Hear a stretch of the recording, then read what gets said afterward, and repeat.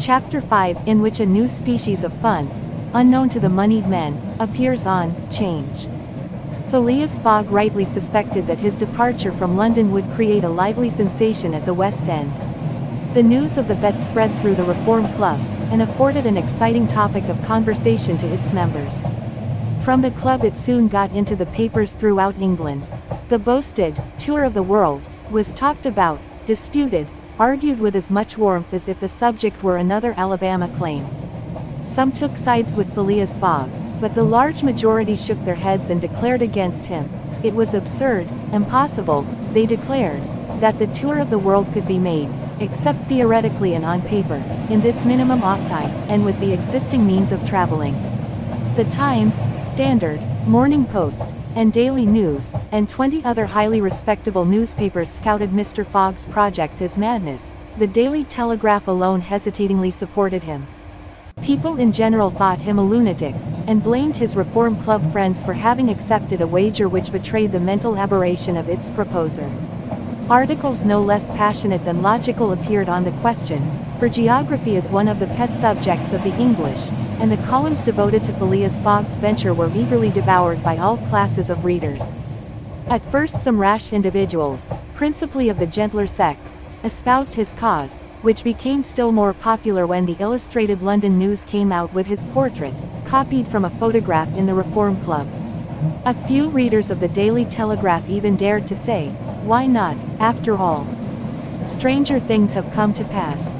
At last a long article appeared, on the 7th of October, in the Bulletin of the Royal Geographical Society, which treated the question from every point of view, and demonstrated the utter folly of the enterprise.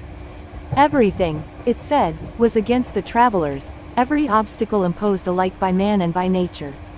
A miraculous agreement of the times of departure and arrival, which was impossible, was absolutely necessary to his success.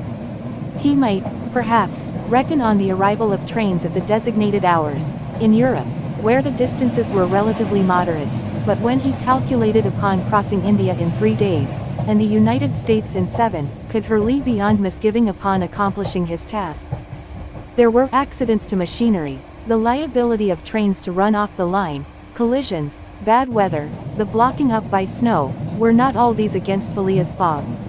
Would he not find himself, when traveling by steamer in winter, at the mercy of the winds and fogs? Is it uncommon for the best ocean steamers to be two or three days behind time? But a single delay would suffice to fatally break the chain of communication. Should Phileas Fogg once miss, even by an hour, a steamer, he would have to wait for the next, and that would irrevocably render his attempt vain. This article made a great deal of noise, and, being copied into all the papers, seriously depressed the advocates of the rash tourist. Everybody knows that England is the world of betting men, who are of a higher class than mere gamblers, to bet is in the English temperament. Not only the members of the Reform, but the no general public, made heavy wagers for or against Phileas Fogg, who was set down in the betting books as if he were a racehorse. Bonds were issued, and made their appearance on Change, Phileas Fogg bonds. Were offered at par or at a premium, and a great business was done in them. But five days after the article in the Bulletin of the Geographical Society appeared, the demand began to subside, Phileas Fogg declined. They were offered by packages, at first of five, then of ten, until at last nobody would take less than twenty, fifty not, a hundred. Lord Albemarle, an elderly paralytic gentleman, was now the only advocate of Phileas Fogg left. This noble lord, who was fastened to his chair, would have given his fortune to be able to make the tour of the world, if it took ten years, and he bet £5,000 on Phileas Fogg.